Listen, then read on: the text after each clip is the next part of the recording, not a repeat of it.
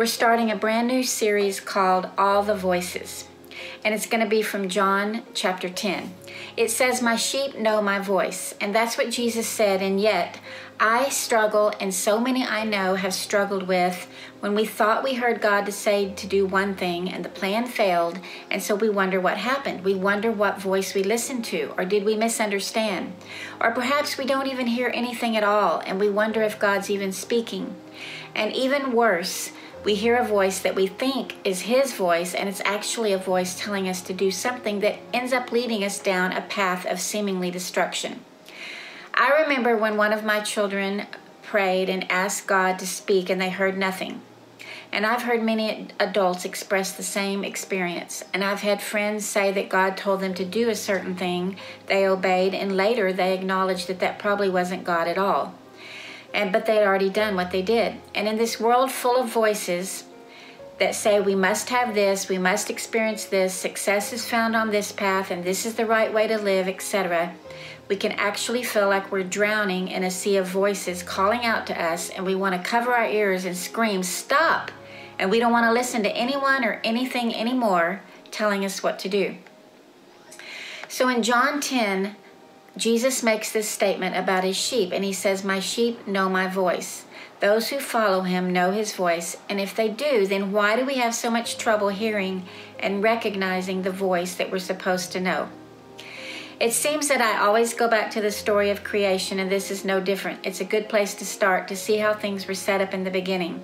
There was a gatekeeper of the garden, and that was God, and He created man and woman, gave them rules to live by, and set watch over the garden. We know that they listened to another voice besides God's and chose to listen to that voice.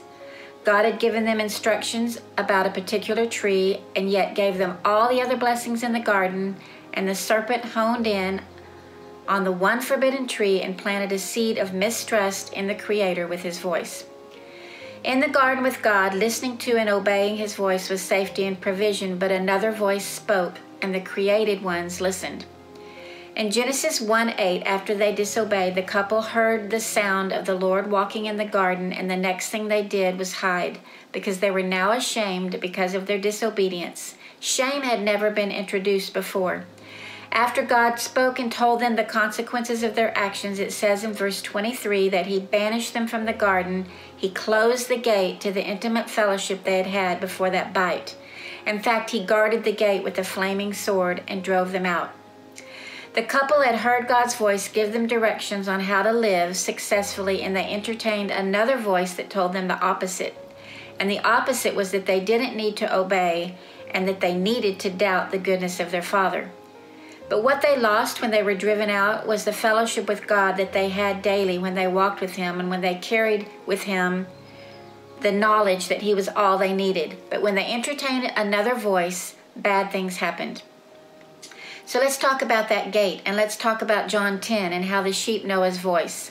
I read that sheep pens long ago in Bible days were made of stones piled up on top of each other, and for protection, there was really only one gate to the pen. Thieves and robbers might try to crawl over the stones, but not a legitimate shepherd. A true shepherd would lie at the gate to protect the sheep from all intruders. In other words, there's only one way into fellowship with God the Father, and that's through Jesus. He said He's the only way. And God told the first couple the only way was to obey. Then He closed the gate and sent those that disobeyed on their way, guarding the gate so they could not return until Jesus. Of all the voices surround us, there's only one voice that offers life, and that's His voice.